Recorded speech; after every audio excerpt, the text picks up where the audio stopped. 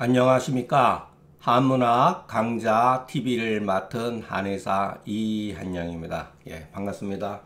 자, 이번 시간에는 그 36번째 예, 본문 같이 한번 읽어보겠습니다. 자, 제가 이제 그 하루에 그 아침 저녁으로 이렇게 그 유튜브 이렇게 그 방송하는 걸로 올리는데 아 이거는 그냥 조금 가볍게 지나가도 되겠다 이렇게 겹치는 부분들이 많이 있거든요. 이제 주로 이제 그런 거에 한해서 하고 아 이거는 좀 우리가 조금 좀 하루 종일 조금 생각 좀 해봐야겠다라는 것. 예, 중요한 것은 그냥 하루에 한 번 올리는 것으로 하겠습니다. 너무 아무리 예, 진도를 빨리 빼는 것도 물론 중요하지만 우리가 그래도 이제 생각할 수 있는 기회를 갖는 것도 좋겠습니다. 자, 이 조문도 마찬가지로 우리가 마왕탕이라는 앞 조문이 워낙 뭐 그 유명한 조문이고 우리가 이제 거기에서 그 이게 그럴까 느껴야 되는 그 의미가 담겨 있지만 이 조문 같은 경우는 그 연장선에서 뭐 이해하시면 좋겠습니다. 자, 여기에서도 우리가 항상 제가 여러분들한테 이런 말씀드리죠. 처음 나오는 용어에 우리가 일단은 그래도 집중을 하자. 여기서 아, 요게 요거는 이제 강평본에는 대자로 써있는데 원래 태, 태양입니다. 이거 옛날에 제가 파일을 만들어 가지고 예, 고치질 않았네요. 예, 태양입니다. 태왕과 양명이 이렇게 합병되었다. 이건 뭐 새로운 용어잖아요. 새로운 용어. 예, 태왕과 양명이 합병되어서 자 천이 흉만 이렇게 숨이 차면서 가슴이 답답한 경우는 합법을 쓰면 안 된다. 그럴 때는 마땅히 마음탕을 써야 된다. 자, 여기에서도 여러분 우리가 무조건 이렇게 그 뭐랄까 의미를 배울 배우는 것도 중요하지만 글 쓰는 방법도 알아야 돼요. 중 이렇게 상한론 조문은 어떤 식으로 글을 쓰는가, 뭐뭐뭐 하는 경우는 뭐뭐 해서는 안 되고 마땅히 뭐뭐 해야 된다. 이 굉장히 간단한 조문이죠. 예, 간단한 조문입니다. 그러나 이런 방법을 배워야 돼요. 뭐뭐 해서는 안 되고 마땅히 반대로 땀을 흘려서 마음탕을 써야 된다. 이게 이제 문제의 글입니다. 이게 문제의 내용이고 그 다음에 이게 문제의 내용입니다. 자, 우리가 한 번쯤 이렇게 제 강의를 듣기 전에 여러분도 각자 생각 빠른 시간에 이렇게 생각하는 습관을 좀 가졌으면 좋겠습니다. 예. 자, 중경의 치법은 아주 저도 이거 여러분들한테 한두 번 쓰는 것도 아니고 그러나 예, 듣기에 따라서 불편할 경우 좀 제가 아마 이거 엄청 많이 썼을 거예요. 예, 어떻게 보면은 이게 당연하면서도 어렵습니다. 예, 우리가 이런데 그 그럴까 이 명분에 많이 노출돼 있어요. 예, 명분에 많이 노출돼 있습니다. 여러분들이 명분이라고 우리가 이 조문에서 우리가 조문에서 명분이 뭐죠? 여기에 몇 개의 명분이 있습니까? 예, 몇 개의 명분이 있잖아요. 예, 명분. 태양이라는 하나의 명분. 양명이라는 명분. 합병이라는 명분. 예, 또 불가하라는 것도 큰 의미에서 누군가의 생각이죠. 이런 이런 병증은 뭐뭐 해서는 안 된다. 어떻게 해야 된다. 이것도 여러분 어떻게 보면은 개인적인 엄밀하게 말하면 여러분 개인적인 생각이라는 거예요. 예. 저도 그 처음에는 야 이거 모든 글을 다 여기서 다 덜어내고 우리가 도대체 무엇을 근거로 해서 처방을 써야 되느냐. 여러분 이와 같은 환자가 왔으면 왔는데 열 사람이 열 사람 생각이 다 다릅니다. 이게 현실이에요. 마음탕을 딱쓸수 있는 사람은 그렇게 드뭅니다. 저도 마찬가지고. 예. 일단 무섭기 때문에 그래요. 무섭기 때문에.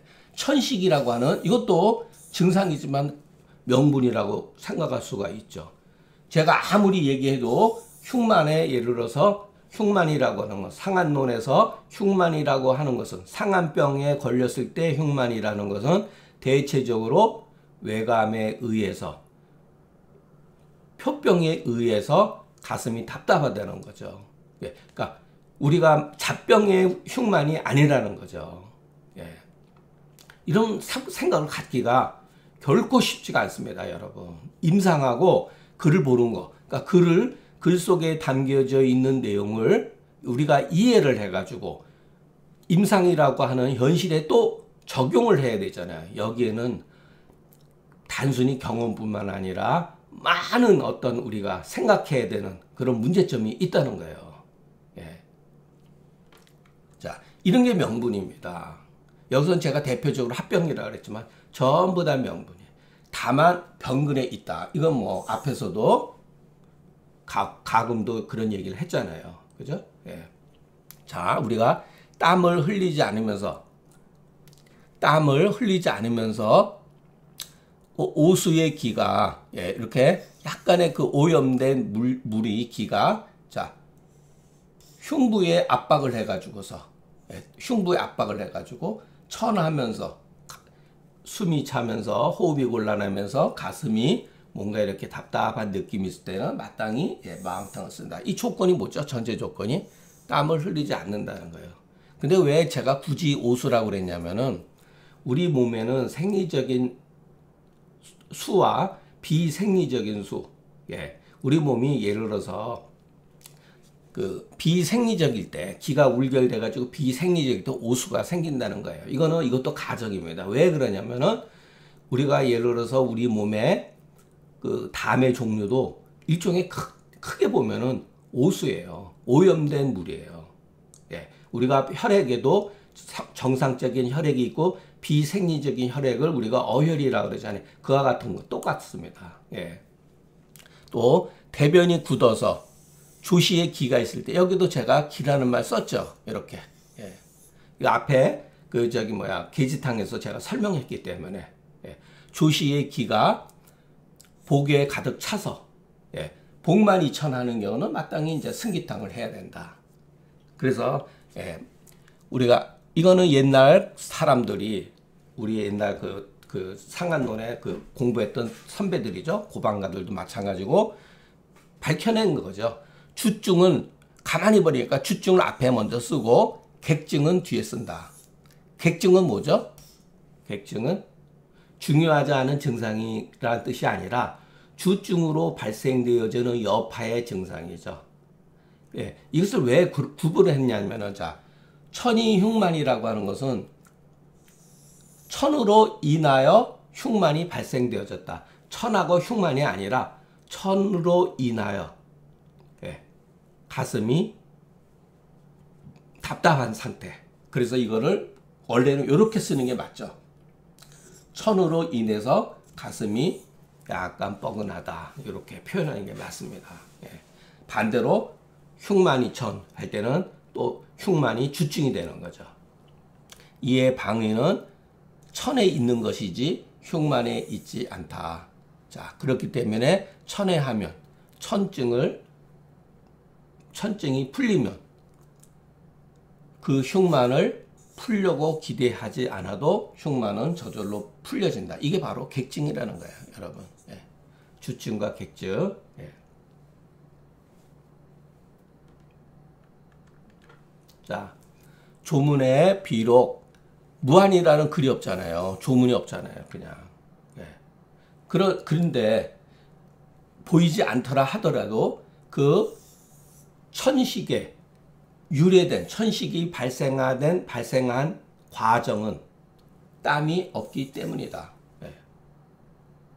그러니까 자 어떤 경우는 무한을 쓰는 경우도 있고 어떤 경우는 무한을 쓰지 않는 경우도 있는 거죠. 예. 그래서 이 중경의 글은 항상 간략하다 그랬죠. 예. 겹치게 쓰는 걸 별로 좋아하지 않아요. 맥이 기나다 그러면은 그 안에는 땀이 다소 흘리, 흘리지 않는다는 뜻이 내포되어 있고 땀이 무한하다 그럴 때는 다소 맥이 긴한 상태를 가지고 있다라는 것을 우리가 이렇게 추리해서 생각할 수가 있죠. 예. 글을 쓸 때마다 맥이 기나고 무한하고 천이 흉만 이런 식으로 쓰지 않는다는 거예요.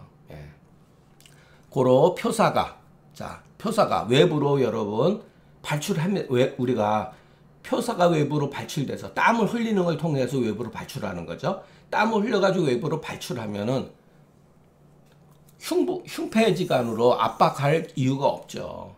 그러니까 천식이 나타났다고 하는 그 사실이 땀이 흘리지 않았기 때문에 그런 거예요. 예. 그러니까 말을 그런 식으로 쓴다는 거예요. 예, 상한론에서 글을 쓸 때. 그래서 예, 천하면서 흉만하다.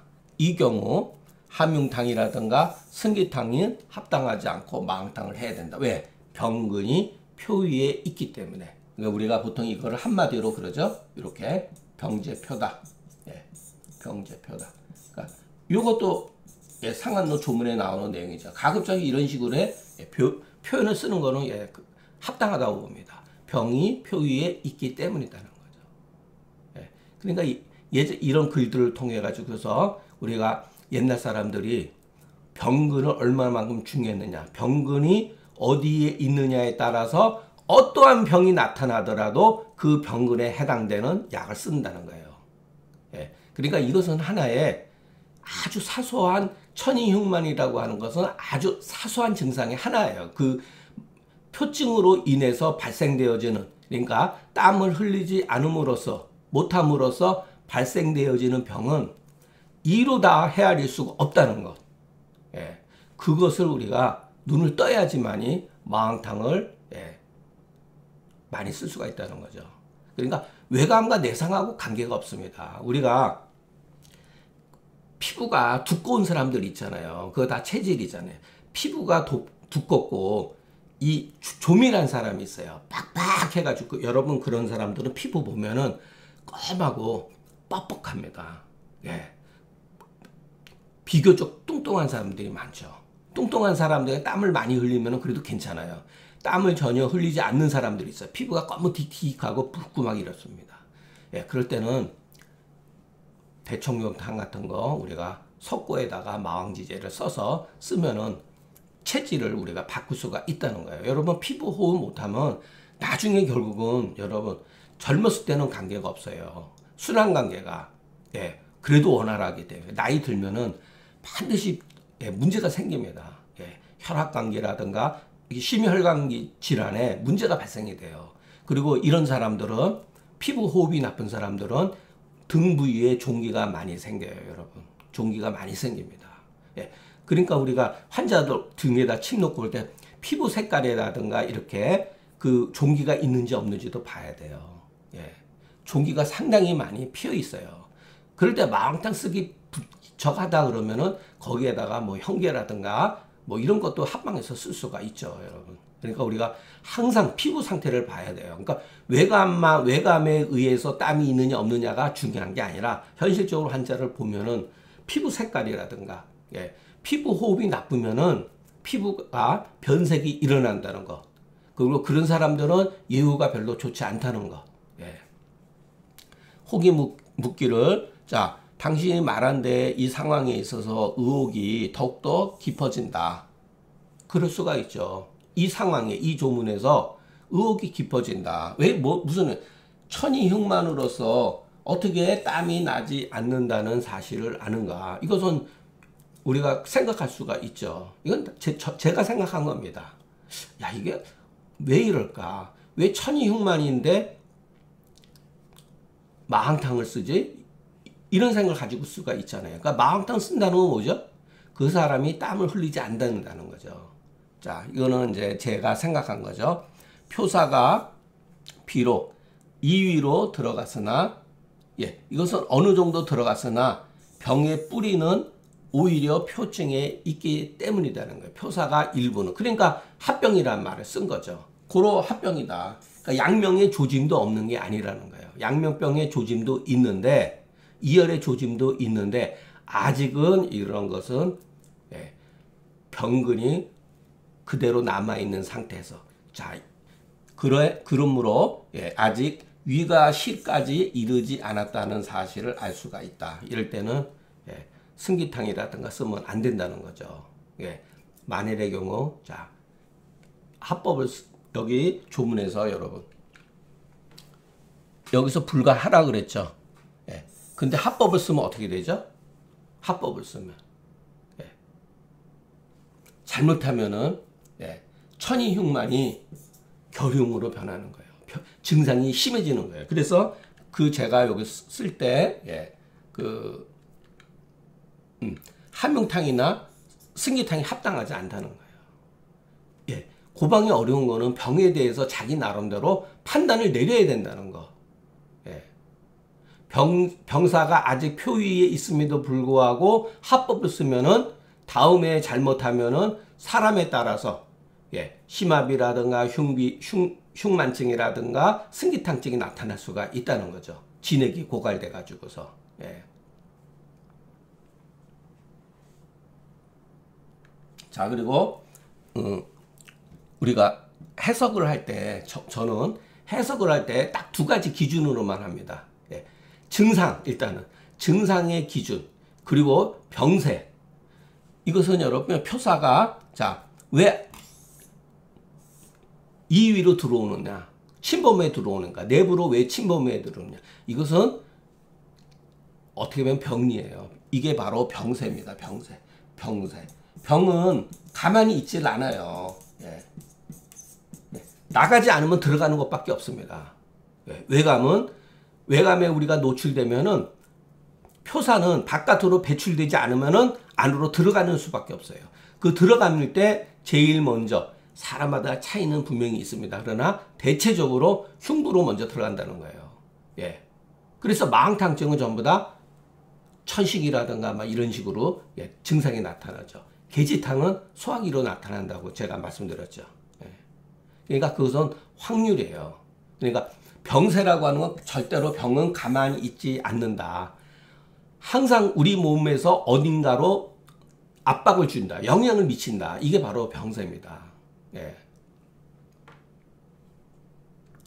자, 합병, 변병, 견병의 증상이 뒤섞여서 병발에 아울러서 나타난다. 뒤섞이고 아울러서 나타나요. 이, 이게 현실적이죠. 어떻게 보면은. 이렇게 간단하게 딱 떨어지는 증상이 드물잖아요. 그런데 이 복잡한, 이 복잡한 현상에서 중경은 어떤 식으로 항상 글을 쓰냐, 처방을 내리느냐. 이게 현실입니다, 사실은. 예. 병이 이렇게 얌전하게 우리가 책에 나와 있는 것처럼 딱 떨어지는 경우는 드물어요. 그런데 그 가운데서 수많은 예, 잡색이라는 말 제가 잘 쓰는 용어죠. 뒤섞이고 곤란하고 혼란하다, 어지럽단 말이에요. 상태가 병증의 상태가 그리고 그런 것들이 동시다발적으로 나타난다는 거예요. 병말이라는 거는.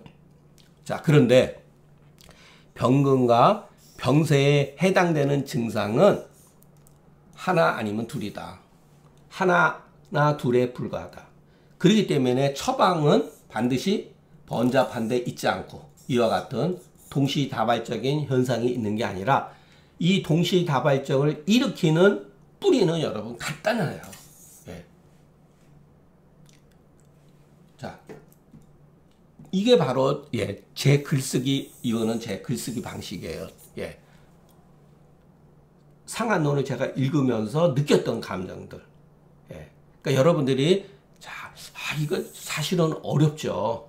막 이렇게 뒤섞여서 나올 때. 그런데 판단을 잘 해야 돼요. 이게 우리가 한의학이 가지고 있는 정말로 멋진 그런 그 아이디어가 아닌가 이런 생각을 합니다. 그렇지 않으면 증상 하나하나마다 머리가 아파서 어떻고, 예, 어떤 약을 쓰고, 소화가 안 돼서 어떤 약을 쓰고, 대변이 어, 뭐, 어때서 이런 약을 쓰고, 이런 게 아니라는 거예요, 여러분. 예. 중경의 처방은 그, 소위 말해서 그 반표 발리증에 해당되는 약들만 약간 복잡할 뿐이지 표증이라든가 이증의 약들은 많아봐야 네 가지 다섯 가지를 넘지 않는다는 것. 예, 넘지 않는다는 것. 예, 저도 뭐 솔직히 얘기해서 그렇게 못합니다. 예, 저도 한한 열가지 정도 보통 약을 써요. 저도 그렇게 합방을 하기 때문에. 예, 그런데 그 죄송한 얘기지만 약이 15가지 넘어가고 막 어떤 경우는 막 20가지 넘는 경우도 비일비재하죠. 이러면은 문제가 있다고 봅니다, 이게. 예. 이건 자기 만족이에요. 예. 그러니까 가급적 약을 줄이는 게 오히려 약의 효과가 많다는 거. 그런데 현실적으로 제가 이 자리에서 말씀드리기 불편한 점이 있습니다. 왜 우리가 열 몇 가지씩 열, 열두 개에서 열 뭐, 대여섯 개 이렇게 쓰는 이유가 있죠. 예. 이게 제가 이렇게 공개된 이런 데서 얘기하기는 좀 불편한 데가 있어요. 예. 고로 합병의 증상을 예, 합병의 증상을 낱낱이 기술하지 않고 하나하나 기술하지 않고 병세의 증만 이렇게 딱 기술했다는 거예요. 병세의 증상. 자, 그래서 중경서가 간략하면서 애교, 이 애기라고 하는 건 목을 누르는 걸 말해요. 그러니까 요점을 콱 쥐는 거죠. 예, 애교라는 말, 이거 잊어버리시면 안 됩니다. 간략하면서 또는 제가 어떻든 이간이라면 쉽고 간단하다 그렇게 표현해도 돼요. 그러나 이제 요즘 용어로 간략하다. 우리가 증경 증상이라든가 약물을 보면 얼마나 간략하죠? 근데 간략하지만 이, 게 중요한 거예요. 애교. 요체를 꽉 쥐고 있다. 요체의 그 목을 누르고 있다. 어떠한 수많은 이와 같은 현상을 한, 하나 하나 두 개의 증상과 약물로서 꽉 누르고 있다는 거예요. 예. 우리가 이거를 공부하는 겁니다. 중경서가 간략 애교, 애교를 얻은 이유는 바로 이 때문이다. 이 병세. 병세의 증상을 파악하는 거죠. 예. 그러므로 일체의 병증에 예, 모든 병이라고 그랬습니다. 뭐 제가 주제 느낌 여러 번 암이든 암이 아니든 이거 관계 없어요. 그렇기 때문에 명분에 미혹돼서 질의하기보다는 질의 멸렬하기보다는 그 병세를 살펴서 간단한 게 낫다. 예, 간단한 게 좋다는 거예요. 예. 그러니까 우리가 앞으로 공부하는 거는 결국은 이 이겁니다. 예, 병세를 통해 가지고서 현상에 우리가 그 너무 지나치게 놀리지 말라. 그러한 현상은 이것들은 참고 사항이다. 예, 참고 참고 사항이고 실질적으로는 한토와 기, 기준에서 한토화를 기준으로 해서 그거를 근거로 해서 치료하면 된다. 예. 자, 태양병이 예, 10일 이상 예, 진행된 거죠. 진행됐는데 어, 맥이 부세하다. 예, 맥이 부세, 맥이 크게 변화가 없는 거죠. 예. 그러면서 눕기를 좋아한다. 예. 몸이 안 좋으면 눕, 눕죠. 이것도 막 그렇게 의미를 부여할 필요가 없습니다. 예, 의미를 아, 몸이 피곤하면 예, 눕기를 좋아하죠. 어떤 경우는 눕지 못한다는 말도 씁니다. 부도가 예, 부도 천식이 있을 때 예를 들어서 심했을 때 어떤 경우는 흉부가 꽉 막히고 그랬을 때 눕지 못하는 경우도 있어요. 그러니까 요런 요런 거는 여러분 병정이라고 하죠. 병정. 네. 맥이 부세야 돼. 맥이 약간 부어하면서 세하다 그러면 벌써 이 병세가 병증이 그렇게 사납지 않다는 것을 말하자 말, 말하고 있잖아요. 그랬기 때문에 이것은 외증이 이미 어느 정도 풀린 거다. 예, 이것을 보고서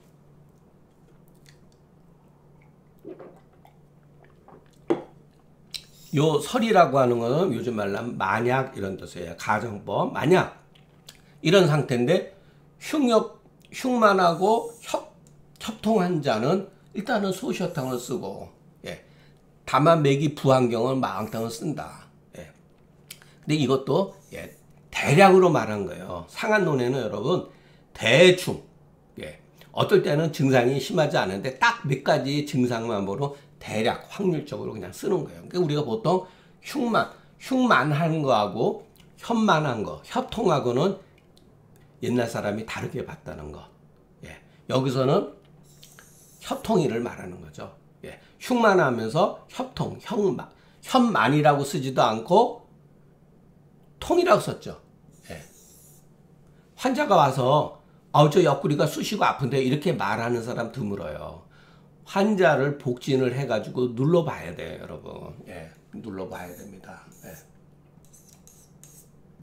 이 우측 예, 이쪽을 이렇게 손가락 손으로 이 늑골 밑으로 네, 압박을 줘봐야죠. 예, 소셔탕을 쓴다. 예. 그러니까 이 협에 해당되는 것은 반표 발리의 병증이기 때문에 한토와 치법으로 치료되지 않는 영역이기 때문에 소시어탕을 쓴다는 거예요. 예, 그러니까 옛날 사람들도 상당히 비교적 예, 논리적으로 이렇게 인체를 봤다는 거. 예. 그래서 어떤 증상 하나가 변화가 됐다. 지금 우리가 상한론 첫 번째에서부터 이 37조문에 이르기까지 소시오탕은 처음으로 나온 거죠. 예. 협통이란 말이 일단은 등장을 했습니다. 그러니까 흉역 고만이 나타나거든 소시오탕을 쓰고 다만 맥이 부하면 여러 게지탕 써도 되죠. 다만 맥이 부긴 하는 경우 망탕을 쓰면 되는 거고. 예.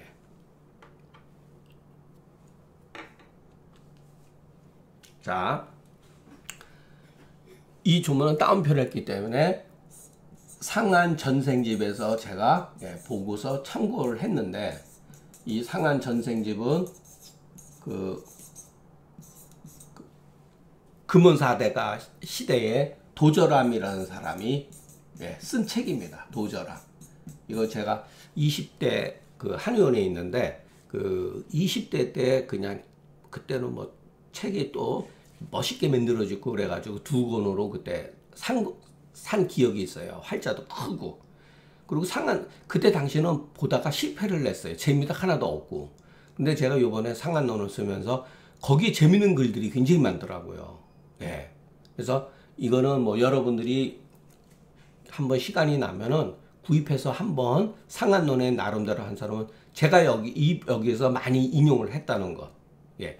주로 뭐냐면은 어떠한 병증에 대해서 그 옛날 사람들이 기존적으로 내려오는 예를 들어서 분돈증은 뭐다. 예를 들어서 항배간 수, 수가 수수는 어떤 것이다. 그 같은 표현이 구체적으로 기록이 돼 있어요. 예. 그래서 오히려 후세의 어떤 책들보다도 더 상한론에 이해하는데 도움 주는 게 많이 있는데 그 대표적인 게 또 이 글이에요. 아까도 했지만 여러분 이 글은 기억을 하셔야 됩니다. 기억을. 대체로 표사가 표사가 2위로 전하는 데 있어서 먼저 흉부를 들어가서 복부로 들어가 위로 들어간다. 예. 이와 같이 되어 있다는 거예요. 이건 대략적인 얘기죠. 확률적으로. 누구나 다 그런 건 아닌데 보편적으로 그렇다는 거예요. 흉이라고 하는 거죠. 호흡기죠. 예. 그 다음에 예. 소화기로 예. 문제가 된다는 거예요. 예. 이와 같은 이유로 흉만은 이게 참으로 예, 제가 보고 깜짝 놀란 거래요. 대체로 이와 같은 이유로 흉만은 대부분이 표증을 끼고 있기 때문에 마땅히 땀을 내야 된다. 예, 이게 상한론을 옛날 사람들도 정말로 옳게 얘기했구나. 예, 그러니까 이 도절함 상한 전생집만 봐도 경락 학설을 많이 인용을 안 했어요. 태양경병이니 태양부병이니 이런 말을 안 했습니다. 근데 오히려 청대에 와서 그와 같은 용어가 더 많이 남발되어 있다는 거. 그러니까 더 복잡해졌어요. 상한 전생진만 해도 용어가 굉장히 간단해요, 여러분. 네. 인내심을 갖고 봐야 돼요, 그 대신. 근데 책은 굉장히 두꺼워 보이는데 그렇게 두, 두껍지 않습니다. 네. 그래서 자 거기에 뭐라면 현만은 대체적으로 예, 이것도 확률이죠. 대, 대체로 반표 발리에 있기 때문에 화법을 써야 된다. 이 화법이 바로 소시오탕이죠. 예. 이게 큰, 타, 큰 틀에서 우리가 병이 어떤 식으로 들어가는가. 먼저 흉부를 호흡기 계통, 기관지 호흡기 계통으로 영향을 준다. 예.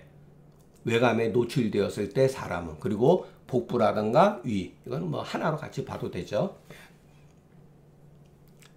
간단합니다. 상한 언어. 예, 우리가 중간에 보면은 예, 처음에는 이 흉, 호흡기에 관한 병증을 가지고 많이 대표적인 게 천식이죠. 예, 숨이 차고 이러는 거죠. 예, 대표적인 거죠. 그런 거. 예. 이제 금계유력에 가면은 여러 가지 이제 소청령탕의 어떤 변방들이 많이 나오잖아요. 예. 그게 전부 다 여기에 해당되는 예, 증상이에요. 이런 거. 예. 자, 10일이 경과했다고 하는 것은 벌써 이미 병이 상당히 많이 진정되어 있잖아요. 근데 맥이 다만 부세하다. 예, 맥이 부세하고 다만 예, 눕기를 좋아하는 경우는 약을 쓸 필요가 없다. 예, 불수약이라고 하는 건 약을 쓸 필요가 없다. 불복약 이렇게 써도 됩니다. 근데 이것도 관용적인 용어예요. 그러니까 이거는 막 제가 글을 막 개인적으로 쓰지 않습니다. 절대로. 예. 자료에 의해서 근거에 의해서 그래도 후세 사람들이 썼던 방식으로 글을 쓴다는 거. 예. 반드시 알아서 그냥 기다리면 돼요. 어, 어떻게 해서 아느냐? 이 단자를 우리가 음미해 보면 다만 이래 있잖아요. 다만. 예, 그것은 아직 다른 증상이 없음을 알 수가 있다. 그렇기 때문에 병세가 완화하기 때문에 뇌가 이미 회했다고. 자, 이것도 여러분 우리가 이 조문에서 이거는 뭐죠? 엄밀하게 말하면 주석입니다. 주회. 누군가의 견해예요.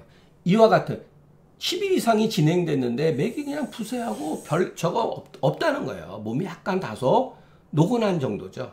그래서 아 이건 거의 다 병증이 풀리려고 풀리는 거구나 이런 뜻이에요.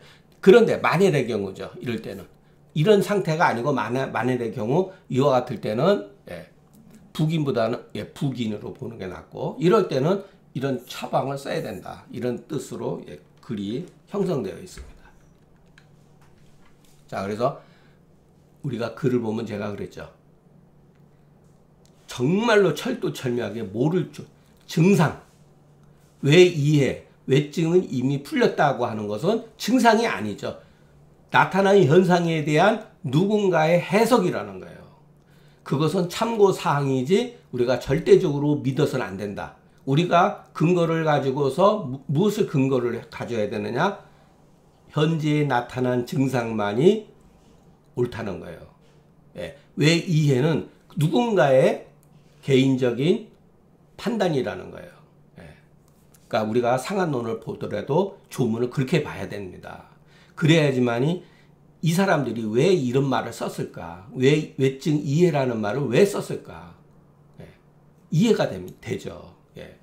그 사람들도 마찬가지로 짧은 증상을 통해 가지고 고민을 했다는 거예요. 예. 만약에 외증이 예, 소양 외증이 풀리지 않아서 예, 그 흉, 흉만 협통한 경우는 소시어탕을 쓰고 태양 외증이 풀리지 않아서 맹부세하고 흉만한 경우는 예, 망탕을 쓸 수가 있다. 예. 소시어탕에는 자 소시어탕증에는 어떻게 맞섰죠? 흉만 협통이라는 말을 썼죠. 이것도 그 옛날서부터 내려온 말이에요. 예. 요것도 우리가 기억해 둘 필요가 있습니다. 자, 소시오탕을 쓸 때는 흉만 협통이라고 했어요. 다만 병증만을 근거하고 맥상은 근거하지 않았대. 여기에는 맥, 맥에 대한 얘기가 하나도 없어요. 자, 마항탕증을 얘기할 때는 어떻게 했죠? 맥이 부세하다 그랬죠. 물론 흉만도 있지만 이럴 때는 맥상을 근거하고 병증을 근거하지 않았다. 이게 상한론에 보면은 자주 나타납니다. 그러니까 여러분 이거는 그 상한 전생집에 나오는 예, 전문 용어입니다. 그러니까 여러분 이것도 기억을 하셔야 돼요. 조문을 읽다 보면 어떤 경우는 병의 증상, 병증만 가지고 근거로 한 경우가 있고 맥을 얘기하지 않는 경우가 있다는 거예요. 어떤 경우는 맥만 얘기하고 병증을 그렇게 다루지 않은 경우가 있다는 거예요. 그렇기 때문에 조문이 이른바 간략하게 된 이유는 그 특징만을 들어서 표기했기 때문이다. 예, 상한론 글이 그렇게 돼 있다는 거예요. 이것이 글을 간략하게 쓰는 법. 그러니까 번잡하게 매사에 모든 것을 맥상 얘기하고 병세, 병근, 병정, 병성, 병도 이런 걸 다 나열해 쓰지 않는다는 거예요. 키포인트만 경우에 따라서는 병정만 얘기하는 경우도 있어요. 근데 그것은 반대로 유추해서 생각해 보라는 거예요. 자, 특징만, 특징만 근거로 했다. 예. 자, 여기에서도 나와 있잖아요. 흉만 협통 이어든 이래서 흉만 협통 이어든 일체의 병명의 구별 나누지 말고 무조건 소시어탕을 쓰라는 거예요. 예. 상한은 이렇게 돼 있어요. 후세방은 이렇게 돼, 아니, 후세의 책들은 이렇게 돼 있지 않죠. 흉욕고만 이렇게 돼 있지 않습니다. 병명으로 여러분 의학이면 보세요. 두통문, 구안화사문, 소화문, 뭐 잡병문, 단문 이렇게 다, 다 있잖아요. 근데 우리는 그런 식 공부하기 때문에 책들을 많이 봐야 되고 처방을 많이 공부를 해야 돼요. 근데 여기는 흉만 협통이 있으면 그 사람이 위험이든 뭐 이런 표현도 그러지만 위험이든 방광염이든 자궁염이든 간염이든 관계하지 않고 걸 쓰라는 거예요. 이게 맞고 틀리고 문제가 아니라 옛날 사람은 그렇게 했다는 겁니다. 예.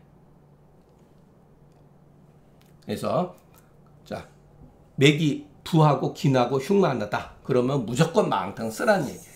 예. 이것이 바로 조문이 간, 간단하게 쓰여진 이유인데 거기서는 항상 특징만을 들어서 표현했기 때문이다. 예. 자, 오늘 강의는 여기서 마치겠습니다. 예. 이렇게 이제 우리가 그 이런 글들은 그냥 한 번 듣고 그냥 뭐랄까 이렇게 뭐 의미를 뭐 굳이 부여하지 않더라도 이런 글들은 뭐 하루에 제가 두 편씩 올리고 정말로 이제 중요한 글이다라고 생각되어진 거 상한론에서 그래도 반드시 깊이 생각해야 되는 것은 예, 저녁 시간에 예, 한번 예, 올리는 것으로 하겠습니다.